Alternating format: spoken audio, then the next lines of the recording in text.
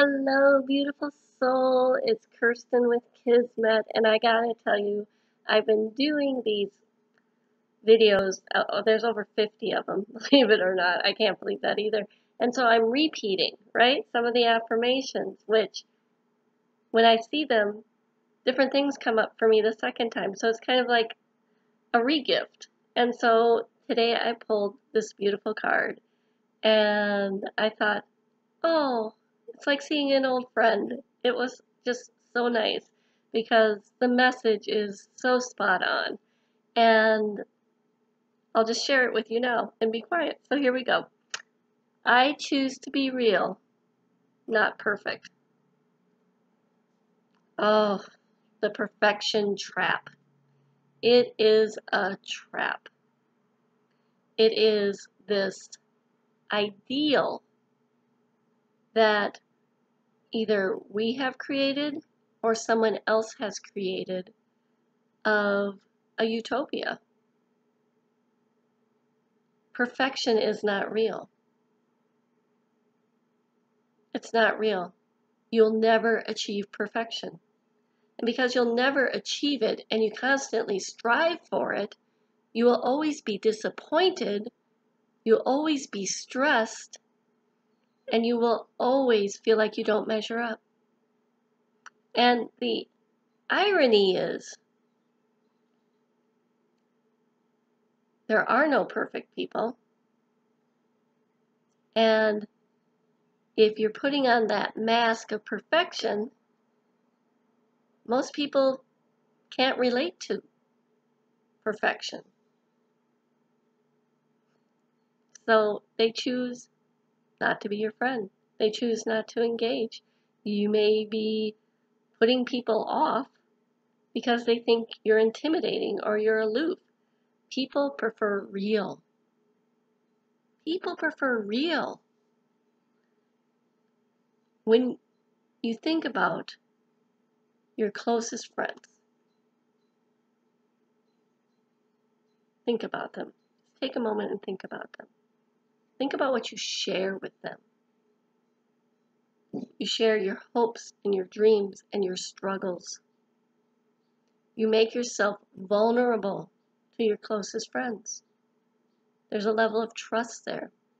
And have you ever noticed after you've had that vulnerable emotional connection to someone where you share an ugly part of you?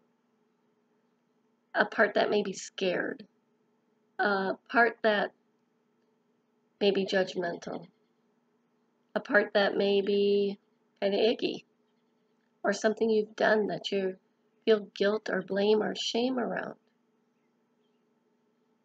If they're truly a friend, they embrace you, they champion you, they support you, and they connect to you on a spiritual level not because in that moment you're perfect, but because you're real. And they can relate because they've done things that they feel blame, shame, and guilt about. They may be judgmental at times. They may have made a mistake. They may be scared too. And so they can relate to who you are. They understand those emotions. People don't understand perfect because it only exists in an ideal. Instead of striving to be perfect, to not make any mistakes, embrace who you are.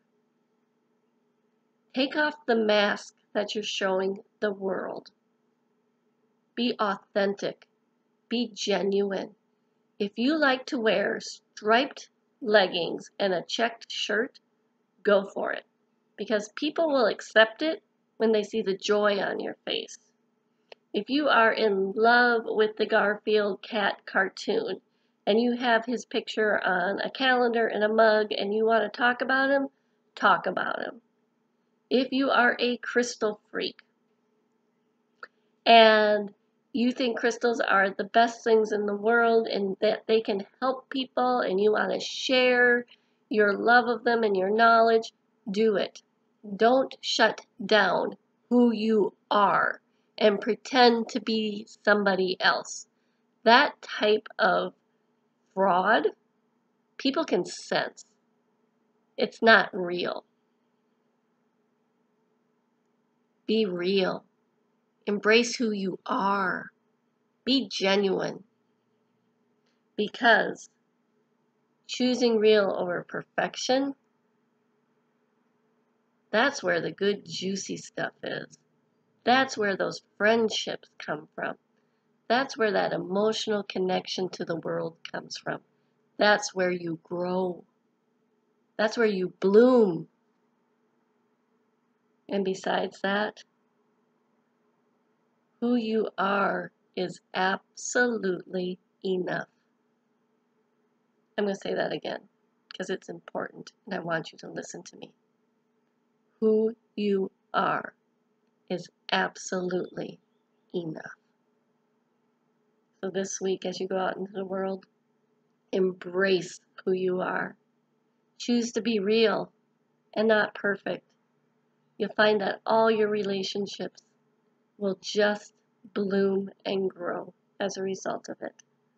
This is Kirstin with Kismet, wishing you a week of love and light. Take care.